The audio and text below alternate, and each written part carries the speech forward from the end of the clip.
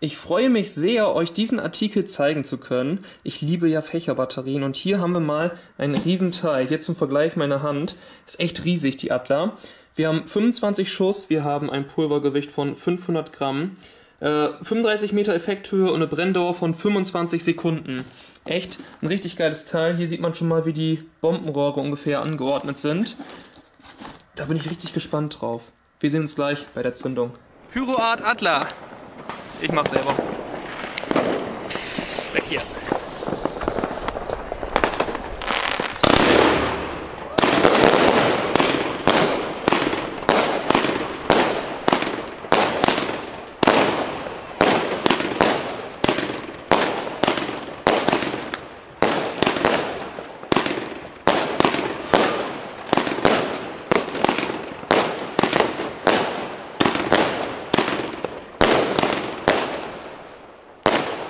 Okay, sie wurde falsch herum angezündet, denn äh, was am Anfang war, sollte eigentlich das Finale werden. Are you listening?